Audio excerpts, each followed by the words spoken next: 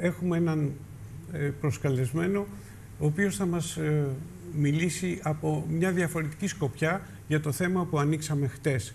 Χτες μιλήσαμε για τα chemtrails, ε, δηλαδή τα χημικά κατάλοιπα που αφήνουν τα αεροσκάφη στον αέρα και δημιουργούν την ατμοσφαιρική ρήπανση και κάποια άλλα ε, επακόλουθα και είπαμε ότι το θέμα δεν θα το αφήσουμε εδώ. Βρίσκεται όμως στην Ελλάδα και τον προλάβαμε γιατί φεύγει. Ο κύριος Φρανκ Ράσμουσεν είναι Δανός, ε, μηχανολόγος, πολιτικό, ε, μηχανολόγος μηχανικός και έχει ασχοληθεί ειδικά με την ε, μόλυνση της ατμόσφαιρας και ειδικότερα με τη μόλυνση που προκαλούν ε, τα αεροσκάφη παντός τύπου, επιβατικά και, και στρατιωτικά. Έχει μια διαφορετική αντίληψη από αυτά που ακούσαμε χτες και που θα ασχοληθούμε και αρκετά, γιατί νομίζω ότι ε, ενδιαφέρει πάρα πολύ. Ε, κάποια στιγμή θα μας μιλήσει και για κάποια μελέτη που έγινε σε αεροδρόμιο της Δανίας ε, μετά από θάνατο εργαζόμενου από καρκίνο εκεί. Αλλά ε, ε, θα μου επιτρέψετε μόνο, επειδή η συνομιλία θα γίνεται στα αγγλικά, να προσπαθώ να κάνω μια κατά κάποιο τρόπο ταυτόχρονη μετάφραση, έτσι θα είναι λίγο παράξενη η σημερινή εκπομπή. Well, welcome, Mr. Rasmussen, to the crazy world. Thank you very much. well, I was telling to our viewers that uh, you have uh, another uh, point of, of, view about the air pollution and what happens to the what we used to hear about chemtrails. So, can you tell us your point of view? Yes, I have been doing research for the last five years. Κάνει έρευνα εδώ και πέντε χρόνια. Um, and I, uh, the, I started, I'm, I sail a lot. I've been sailing since 1970 and when you sail you look at clouds. Ε, είναι ε, ιστιοπλώος και όταν ταξιδεύεις με το, με, ε, όταν κάνεις ιστιοπλοεία κοιτάς πάντα τα σύννεφα.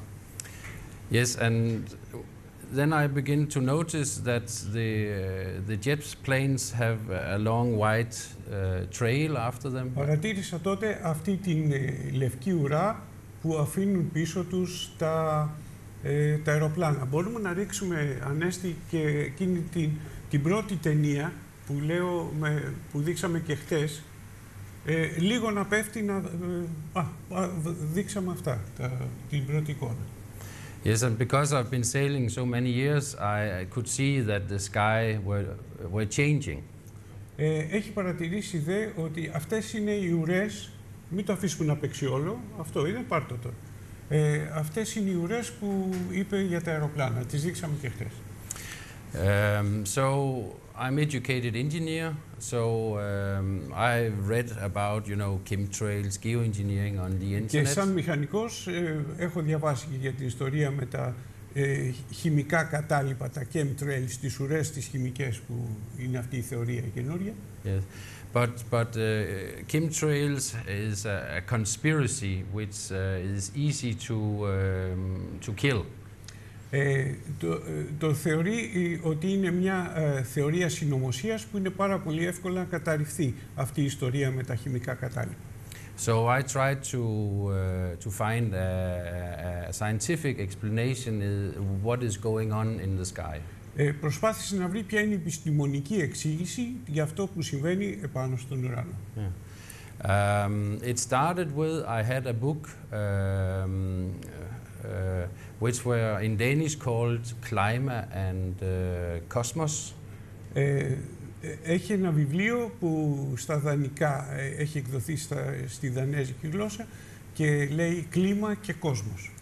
Which uh, were written uh, uh, about the research a Danish scientist called Henrik Svensmark made. He is now a part of uh, the CERN cloud project.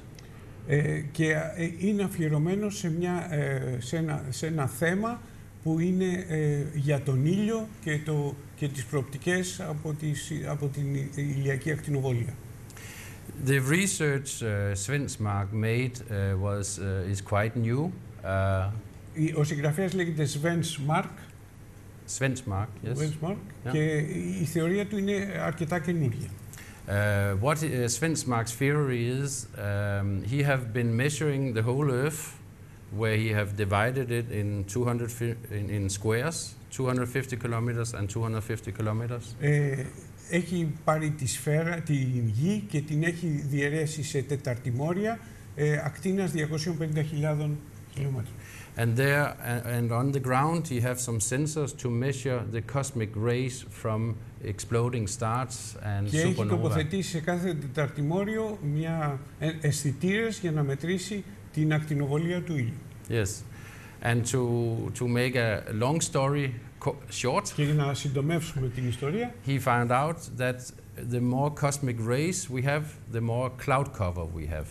και ε, ο συγγραφέας του βιβλίου υποστηρίζει ότι όσο περισσότερο, ε, ε, ό- όσα περισσότερα θερμότητα έχουμε από την ακτινοβολία του ήλιου, τόσα περισσότερα σύννεφα παρουσιάζονται. So he, together with CERN, uh, they made a dream team of scientists from the whole world. Έτσι δημιουργήθηκε μια ε, ονειρική ομάδα από επιστήμονες από όλο τον κόσμο where they try to find out what is going on uh, i- with chemical reactions when the when the uh, cosmic rays are hitting the Earth uh, atmosphere. και προσπαθήσαν οι επιστήμονες αυτοί να δώσουν εξήγηση τι γίνεται με τις κοσμικές ακτίνες που χτυπάνε τη γη. And uh, the conclusions they have reached, the project is still ongoing. Η προοπτική συνεχίζεται, το, το πρόγραμμα αυτό συνεχίζεται και τα συμπεράσματα που έχουν βγει ως τώρα Is that when the cosmic rays are hitting the atmosphere, είναι ότι όταν η κοσμική ακτινοβολία χτυπάει την ατμόσφαιρα a chemical reaction happens υπάρχει, δημιουργείται μια χημική αντίδραση which creates an aerosol, a small particle. ε, και δημιουργείται ένα ε, είδος αεροζών. Yes. And this small particle is also called a cloud condensation nuclei or cloud seed. Ε, can you write it? Yeah. How is it called? Ε, και δι- αυτό το αεροζόλ Cloud ε, ε, ε, ε, condensation είναι, nuclei. ε, είναι ο πυρήνας ε, της, συγκέντρωσης, της συννεφικής συγκέντρωσης, της συγκέντρωσης των ε, σύννεφων, για να το πούμε μεταφραστικά. So, uh, Svensmark uh, concluded that if there was not um, uh, created this uh, cloud seed, Εάν, ε, είπε ο, ο συγγραφέας, υποστηρίζει ο Σβένισμακ, ε, εάν δεν δημιουργηθεί αυτή η, η κατάσταση, it, it was not possible to make a cloud. So you need a, a, a small particle, a nanoparticle, uh, maximum 100 nanometers uh, big, ε, ε, ένα πολύ μικρό στοιχείο ε, που ε, μετριέται ε, ε, σε μικ- μικρό νάνο, ε, είναι ένα, μια μέτρηση στη φυσική και στη χημεία ε, το νάνο, το οποίο είναι μη- πα- ε, ελάχιστο, δεν μπορούμε να το υπολογίσουμε εμείς και αν δεν υπάρχει αυτό το στοιχείο δεν μπορούν να δημιουργηθούν τα σύννεφα. And this particle is the foundation of uh, uh, to, to make an ice crystal. Αυτό το στοιχείο που είναι αυτών των πολύ μικρών διαστάσεων ε, είναι και η απαρχή των, κρυσ- των κρυστάλλων που δημιουργούνται στην ατμόσφαιρα. Yes, and many ice crystals create a cloud. Και ε, έχουμε μια συλλογή από κρυστάλλους για να δημιουργηθούν τα σύννεφα. So I uh, thought it was uh, an interesting uh, science, Ε, σκέφτηκε λοιπόν ότι είναι επιστημονικά πολύ ενδιαφέρον να εξεταστεί So the next thing I tried to find out is if there were any scientific reports on the internet telling uh, me about how big is the particles coming out of a jet plane. και έτσι ε, έψαξα στο ίντερνετ να βρω ε, πόσο μεγάλα είναι αυτά τα στοιχεία που αφήνουν πίσω τους τα αεροπλάνα και δημιου, ε, ενδεχομένως από αυτά δημιουργούνται αυτοί οι κρύσταλλοι. Because if the sizes of the particles coming, the pollution of an airplane, the sizes of the particle was the same, as the sizes which were created from the cosmic rays και προσπάθησε να συνδέσει το μέγεθος των, ε, των στοιχείων που βγαίνουν από τις εξατμίσεις των αεροπλάνων με ε, την ε, κοσμική ακτινοβολία. then I could, you know, put a link between the creation of cosmic rays aerosol and aerosols coming out of a jet plane. Και έτσι προσπάθησε να συνδέσει την ε, κοσμική ακτινοβολία και αυτά τα στοιχεία που δημιουργούνται με, τα, ε, με την εξάτμιση των αεροπλάνων. So I found a report called uh, a Danish report made by the Danish Technical University and uh, Copenhagen University um, at Copenhagen Airport. Ε, βρήκε λοιπόν μια έρευνα που είχε γίνει από το Πανεπιστήμιο της Κοπενχάγης για α, ένα αερο- αεροδρόμιο της Δανίας. The reason uh, the university uh, was uh, working in Ε, there αυτή είναι η, στο 5F ε, η εικόνα η πρώτη, είναι η, η έκθεση. I'm sorry. The reason why uh, the universities were working in the airport was because one of the baggage handlers got ill. Ε, η- η αιτία που προκλήθηκε αυτή η έρευνα, η πανεπιστημιακή, ήταν μετά από ασθένεια που υπέστη, ε, να ανέβει λίγο, να ανέβει για να δω, βλέπουμε ότι είναι έρευνα. Βγάλε και το σήμα αυτή τη στιγμή. Ε, αυτή είναι μια φωτογραφία, να ανέβει Yeah, να you, see, φανεί. you see one of the baggage handlers. Λοιπόν, ένας από τους εργαζόμενους όπως αυτός ε, που μαζεύει τα, τις αποσκευές από τα αεροπλάνα έπαθε ε, καρκίνο και έτσι η, η, η Ομοσπονδία των Εργαζομένων ζήτησε να γίνει έρευνα για την, ε, ε, για την ε, ατμόσφαιρα που δημιουργείται στα αεροδρόμια. Όπου ε, όσοι ταξιδεύουν ε, με το αεροπλάνο αισθάνονται την περίεργη αυτή μυρωδιά στα αεροδρόμια. Yes, so the union of this baggage handler were uh, uh, demanding that the, uh, the Copenhagen airport uh, made an investigation of the environment where he worked. Ε, ζητήσανε η Ένωση των Εργαζομένων στο αεροδρόμιο της Κοπενχάγης, ζήτησε από το Πανεπιστήμιο της Κοπενχάγης να γίνει αυτή η έρευνα. Uh, so uh, the universities put up uh, an instrument to measure the particle pollution. Έτσι, η- ε, στο Πανεπιστήμιο ε, έγιναν οι μετρήσεις για να βρεθούν αυτά τα στοιχεία που δημιουργούν τη μόλυνση. They placed it uh, different places in the airport to, to, to, uh, to find if there were differences. Τοποθέτησαν ειδικούς καταμετρητές της ατμοσφαιρικής ρήπανσης σε, ορισμένα, σε δεδομένα σημεία στο αεροδρόμιο. So the result of this uh, investigation was uh, very exciting. Είναι, ε, ήταν, ε, ε, ας το πούμε, ανατριχιαστικά τα αποτελέσματα αυτής της έρευνας, because they found out that um, uh, the baggage handler were inhaling 280 billion particles per workday. billion; Yes. Ε, γιατί ανακάλυψαν ότι ο κάθε εργαζόμενος που ε, βρίσκεται στο, στο τάρμακ του αεροδρομίου, στο, στο διάδρομο του αεροδρομίου και μεταφέρει τις αποσκευές ε, από το αεροπλάνο στη, ε, στα καρότσια αυτά, ε, εισπνέει 280 δισεκατομμύρια από αυτά τα μικρά νανομετρημένα σε νάνο ε, ε, στοιχεία. And uh, the main part of these particles had sizes which were under 50 nanometers. Ε, το, το μέγεθος αυτό είναι κάτω από 50 νανο, νανομέτρα. Ε, δηλαδή ε, είναι πάρα πολύ δύσκολο να μετρηθεί γιατί είναι εξαιρετικά μικρή η ποσότητα ε, ε, τι- που εισπνέουν. As most uh, probably know, uh, nano uh, technology is quite new, so we don't know too much about the health effect, but we know that we have no uh, protection against nanoparticles. Ε, όπως ξέρουμε η νανοτεχνολογία είναι πάρα πολύ καινούρια και ε, ακόμα δεν μπορούμε να, να, να συλλάβουμε ε, και δεν υπάρχουν και πάρα πολλά ε, για, να, για να μετρήσουμε αυτά τα στοιχεία τα μικροστοιχεία, τα νανοστοιχεία τα οποία εισπνέουν. So nanoparticles is dangerous for our health. Τα οποία νανοστοιχεία είναι εξαιρετικά επικίνδυνα για την υγεία μας.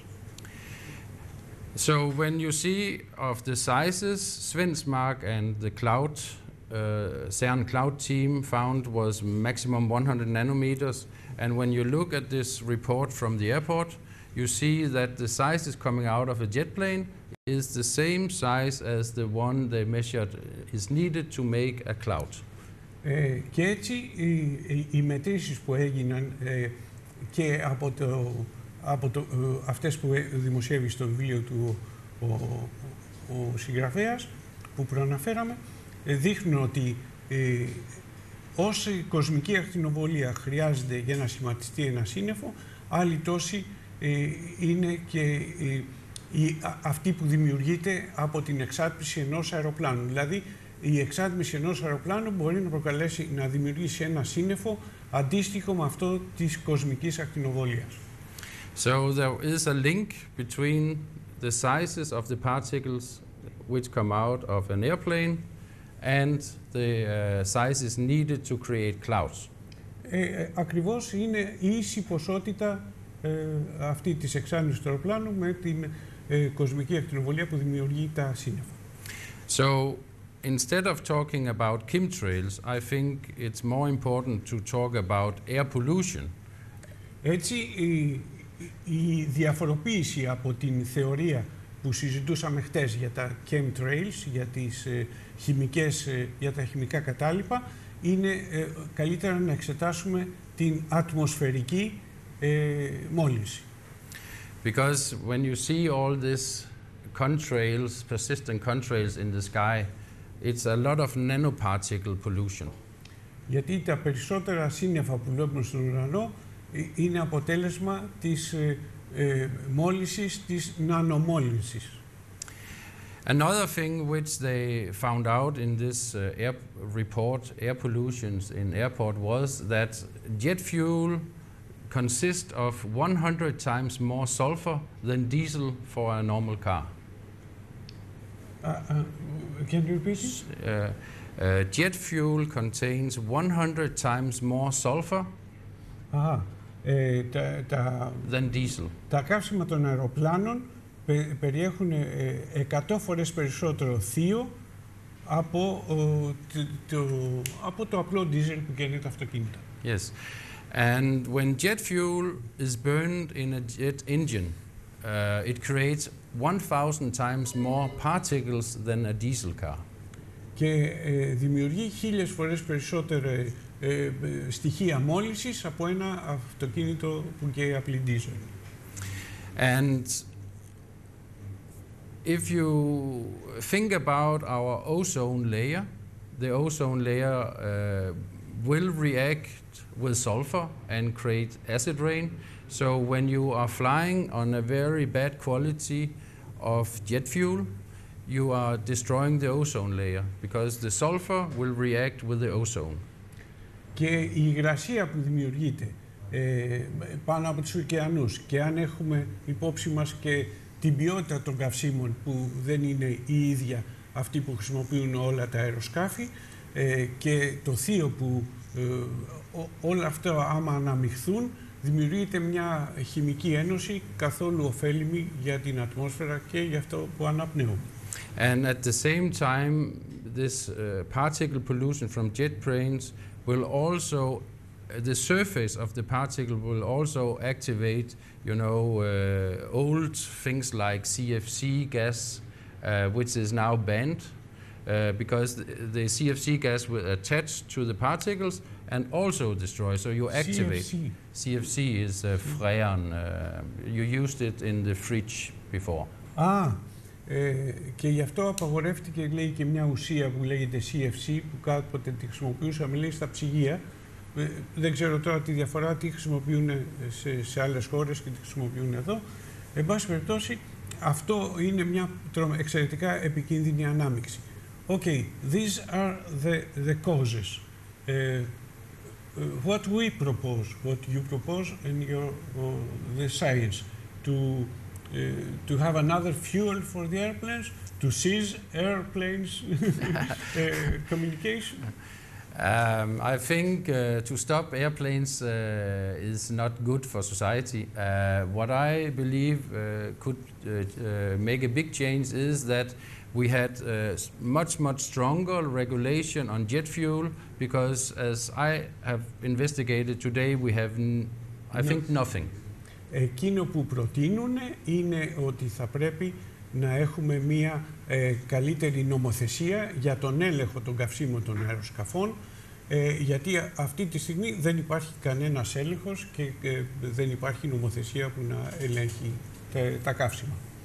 And this regulation should also uh, consist uh, regulation about additives uh, because uh, in more uh, uh, scientific reports on the internet, uh, especially about nano, uh, uh, you find out that, uh, for example, jet fuel also consists uh, barium and aluminium.